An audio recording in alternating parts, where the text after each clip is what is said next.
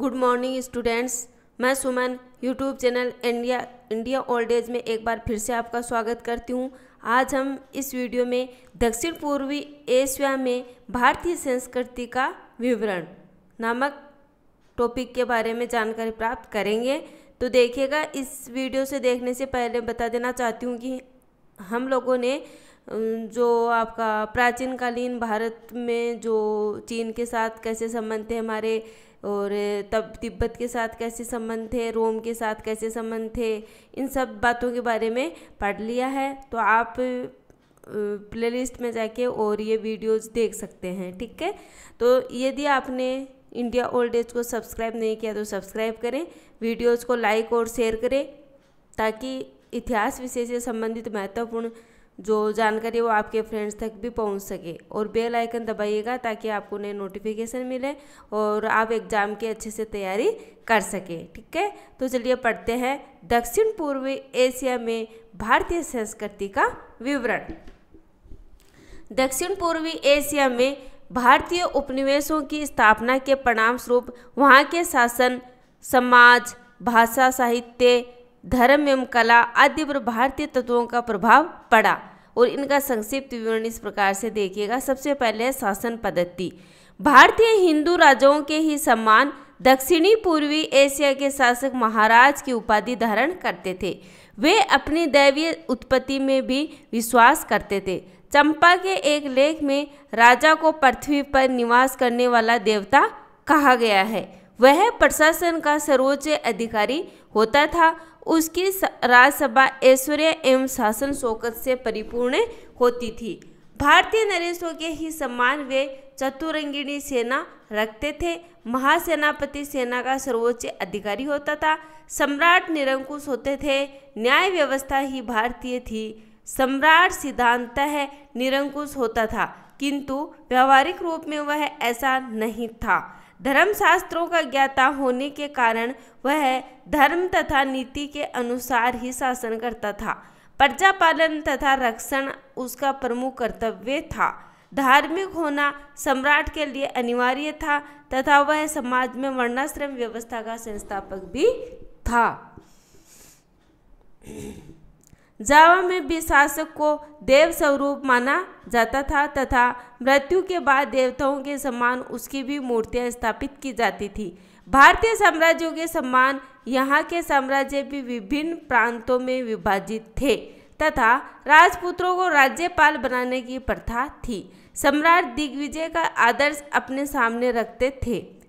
सम्राट देश का सबसे बड़ा न्यायाधीश होता था। वह धर्मशास्त्रों के अनुसार न्याय का कार्य करता था। मनु, नारद तथा भार्गव धर्म शास्त्रों का अनुसरण किया जाता था। अब देखिएगा आता है आपका समाज। तो भारतीय समाज के समान ही दक्षिण पूर्वी एशिया के समाज में भी हमें चतुर्वर्ण व्यवस्था के दर्शन होते हैं, ठीक है? इंडोनेशिया के लेखों में इसका उल्लेख मिलता है। भारतीय जाति व्यवस्था का समाज में प्रचलन था। जावा के साहित्य तथा लेखों में ब्राह्मण तथा क्षत्रियों का उल्लेख मिलता है। तत्वनिंग नाम व्यवहार नामक प्राचीन जावानी रचना में चारों वर्णों की उत्पत्ति ब्रह्मा के मस्तक, बाहु जंघ जंघा तथा पैरों से बताई गई है। यह विवरण ऋग्वेद के पुरुष सूक्त के विवरण पर आधारित है। चातुर्वर्ण के व्यवसायों का उल्लेख भी लेखों तथा ग्रंथों में मिलता है। वहाँ के समाज में भी ब्राह्मणों का प्रतिष्ठित स्थान था। वे अध्ययन अध्यापन में रत रहते थे। क्षत्रिय वर्ण के लोग युद्ध एवं शासन के कार्यों में भाग लेते थे। ब्राह्मणों तथा क्षत्रियों की गणना उच्च वर्ग में होती थी। दास प्रथा का भी प्रचलन था। समाज में स्त्रियों की स्थिति सम्मानजनक थी, पर्दा प्रथा का प्रचलन नहीं था। स्त्रियाँ राजनीतिक तथा शासन में भाग ले सकती थी। जावा के शासक एरलंग के लेख से पता चलता है कि वह अपनी रानियों के साथ राज्यसभा में बैठता था। इसी प्रकार विष्णुवर्धन के बाद उसकी पुत्री ने शासन चलाया था। स्त्रियों को पर्याप्त स्वतंत्रता थी। भारतीय महिलाओं के सम्मान उन्हें भी अपना पति चुनने का अधिकार था। सती प्रथा भी प्रचलित थी। विवाह को यहाँ भी भारत के सम्मान एक पवित्र धार्मिक संस्कार माना जाता था। प्रायः सवर्ण विवाह ही किए जाते थे, किंतु कभी कभी अंतर्जातीय विवाह भी होते थे। समाज के लोगों की वेशभूषा भी भारतीयों जैसी ही थी।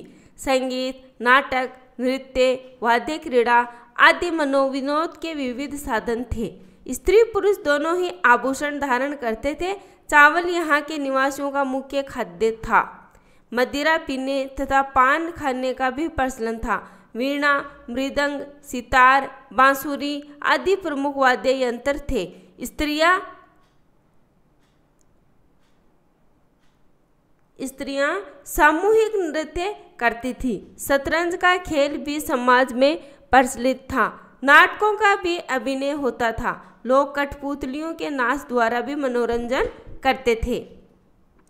भाषा तथा साहित्य। दक्षिण पूर्व एशिया के विभिन्न राज्यों में भारत की संस्कृत भाषा का व्यापार प्रचार प्रसार था। कम्बुज, चंपा, जावा, सुमात्रा बोर्नियो आदि से संस्कृत भाषा में लिखे गए लेख प्राप्त होते हैं। लेखों की शैली काव्यात्मक है तथा इनमें संस्कृत के प्राय सभी छंदों का प्रयोग मिलता है। इनके लेखक संस्कृत व्याकरण के नियमों से पूर्ण परिचित लगते हैं। अभिलेखों से पता चलता है कि इन देशों में वेद, वेदांत, स्मृति, रामायण, महाभारत, पुराण आदि ब्राह्मण ग्रंथों के साथ ही साथ विभिन्न बौद्ध एवं जैन ग्रंथों का अध्ययन किया जाता था। कालिदास का भी वहाँ के साहित्य पर गहरा प्रभाव दिखाई देता है। भारतीय स्मृति तथा पुराणों पर आधारित भी अनेक ग्रंथों का प्रणयन किया गया। अर्जुन विवाह की वहाँ के नरेश विद्वान एवं विद्वानों के आश्रयदाता थे। जावा के निवासियों ने न केवल संस्कृत का अध्ययन किया, अपितु इन्होंने भारतीय साहित्य के अनुकरण पर अपना एक विस्तृत साहित्य निर्मित किया, जिसे इंडो जवानी साहित्य कहा जाता है। लगभग पाँच वर्षों तक इस साहित्य का विकास होता रहा। जावा में महाभारत के आधार पर अनेक ग्रंथों की भी रचना हुई, जिनमें अर्जुन विवाह, भारत युद्ध, स्मरदहन, सुमन, शांतक आदि उल्लेखनीय हैं। रचना एरलंग, जो 1019 से बयालीस ईस्वी में हुई थी, के शासनकाल में हुई थी, ठीक है? और कडेरी राज्य के समय कृष्णायन की रचना हुई थी, जिसमें कृष्ण द्वारा रुक्मणी हरण तथा जरासंग के वध की कथा है। रघुवंश के आधार पर सुमन शांतक लिखा गया।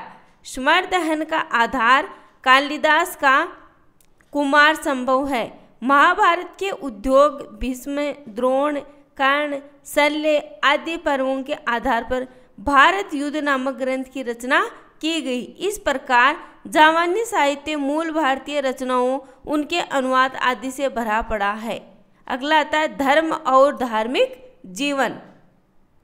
दक्षिण पूर्वी एशिया के विभिन्न देशों में ब्राह्मण तथा बौद्ध धर्मों का बोलबाला था। बर्मा तथा श्याम में बौद्ध धर्म का प्रचलन था, जबकि अन्य देशों में पौराणिक हिंदू धर्म ही विशेष रूप से लोकप्रिय था। पौराणिक देवताओं में शिव, विष्णु तथा ब्रह्मा विशेष लोकप्रिय थे। शैव धर्म तो वहाँ का राजधर्म था। शिव की पूजा लिंगों तथा मूर्तियों दोनों के रूप में की जाती थी। शिव के रौद्र तथा सौम्य दोनों रूपों से जवानी परिचित थे। महादेव तथा महाकाल के नाम से उनकी पूजा की जाती थी।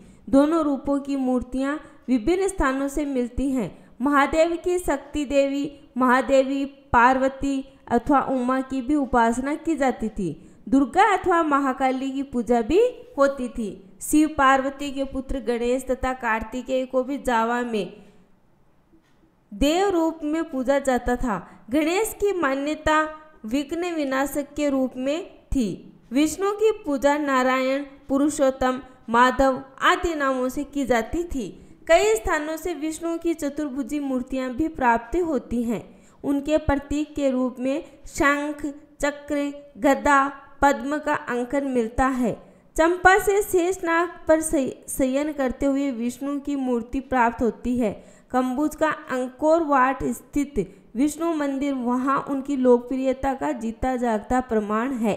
कृष्ण राम मत्स्य वाराह तथा नृसिंह अवतार के रूप में भी विष्णु मंदिर, वहाँ उनकी लोकप्रियता का जीता जागता प्रमाण है।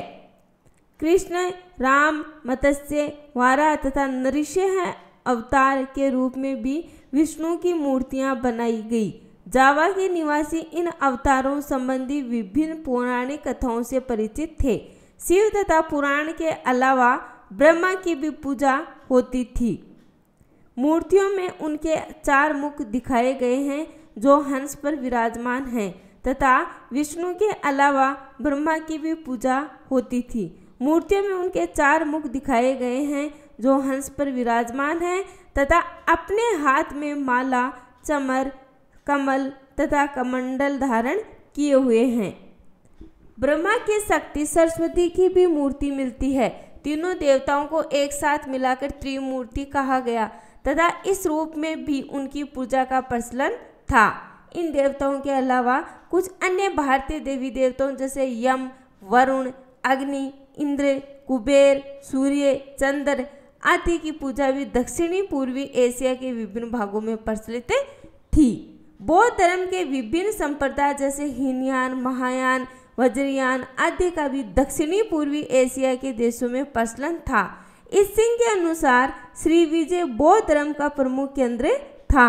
वह लिखता है कि यह धर्म दक्षिणी पूर्वी एशिया के द्वीपों में दूर दूर तक फैला, फैल चुका था तथा 10 से अधिक देशों में सर्वास्तवाद यश फैला था। जबकि कुछ भागों में महायान मत का भी प्रचार था।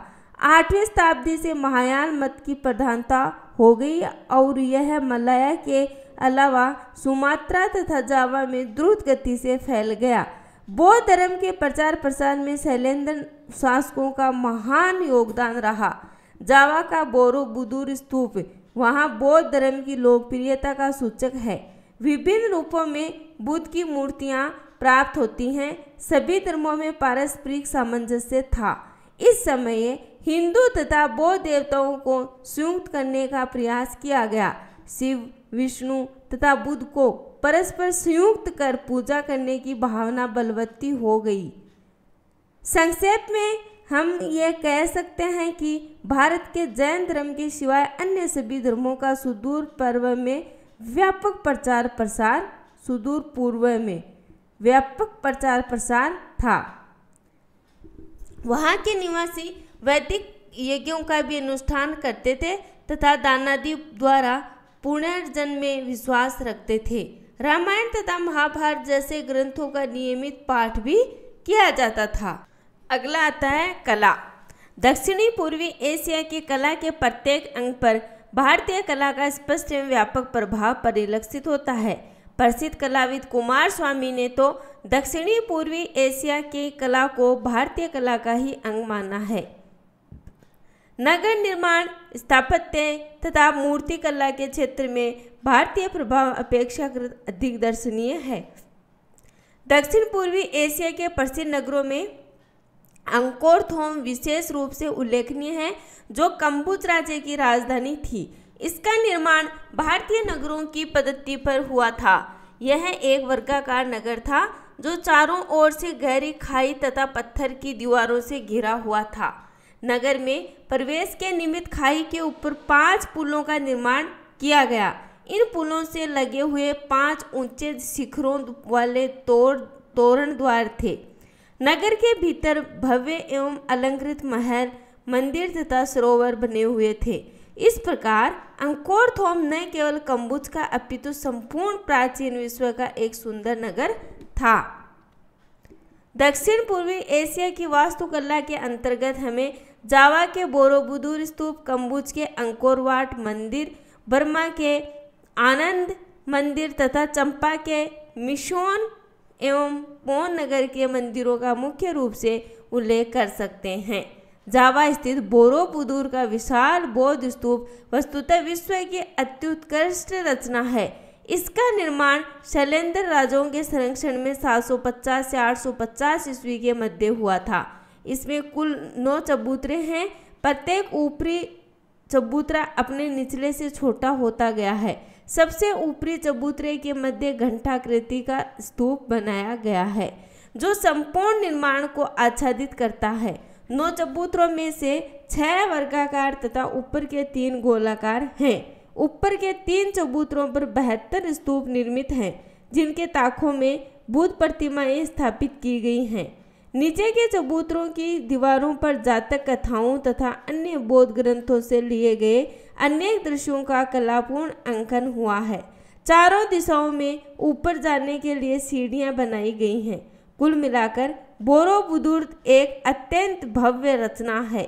मजुमदार ने तो इस संस, इसे संसार का आठवां महान आश्चर्य कहना उचित समझा है। वृहत्तर भारत के हिंदू मंदिरों में कंबुज अर्थात कंबोडिया के अकोरवाट का विष्णु मंदिर विशेष रूप से उल्लेखनीय है। इसका निर्माण 1125 ईस्वी में कंबुज के राजा सूर्य वर्मा द्वितीय द्वारा करवाया गया था। यह संपूर्ण मंदिर पत्थर का बना हुआ है। ढाई मील के घेरे में स्थित इस मंदिर के चारों ओर 650 फीट चौड़ी तथा ढाई मील लंबी खाई है। मंदिर में जाने के लिए 40 फीट चौड़ा एक पुल बनाया गया है। मंदिर तीन हज़ार फुट की चौकोर पत्थर की मेढी अर्थात चबूतरे पर बना है।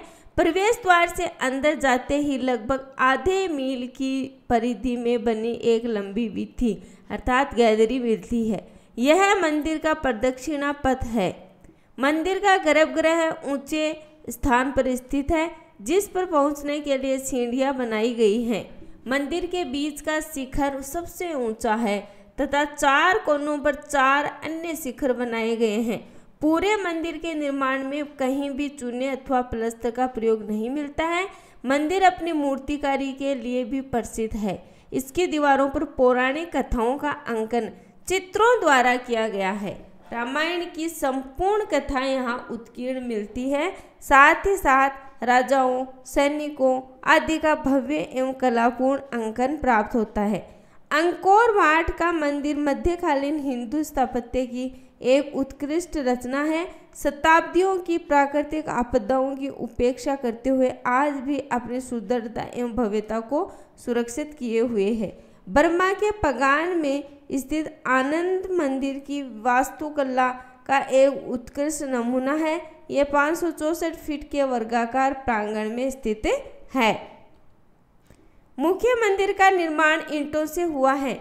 मध्य में बुद्ध की विशाल मूर्ति है। तथा मंदिर की दीवारों पर बुद्ध के जीवन से संबंधित तथा जातक ग्रंथों से ली गई बहुसंख्यक कथाओं का भव्य एवं कलापूर्ण अंकन हुआ है।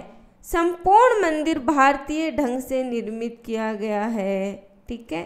इन मंदिरों के अलावा चंपा के माइसोन तथा पोनगर, अंकोर थोम का बायो मंदिर, जावा का लोरोजोंगरम मंदिर आदि भी सुदूर पूर्व के सुदूर पूर्व के हिंदू वास्तु तथा स्थापत्य के अनूठे उदाहरण हैं। इन सबको देखने से स्पष्ट हो जाता है कि इनका निर्माण भारतीय कलाकारों ने ही किया होगा। मंदिरों के अलावा विभिन्न स्थानों से बुद्ध बोधिस्व विष्णु, शिव बर्मा लक्ष्मी, गणेश, कार्तिकेय आदि देवी देवताओं की बहुसंख्यक मूर्तियाँ भी भी प्राप्त होती हैं। जो दक्षिणी पूर्वी एशिया में हिंदू दक्षिण कला के व्यापक प्रचार प्रसार की सबल साक्षी हैं। इस प्रकार दक्षिण पूर्वी एशिया की सभ्यता भारतीय सभ्यता से पूर्णतया प्रभावित है और थी, ठीक है? तो देखिएगा, इस वीडियो में हमने अच्छे से भारत और दक्षिणी पूर्वी एशिया के मध्य जो परंपराओं का आदान प्रदान है, उसके बारे में जानकारी प्राप्त की। आगे भी आपको इसी प्रकार से वीडियो देखने को मिलेंगे। तो बने रहें YouTube channel India old age पे।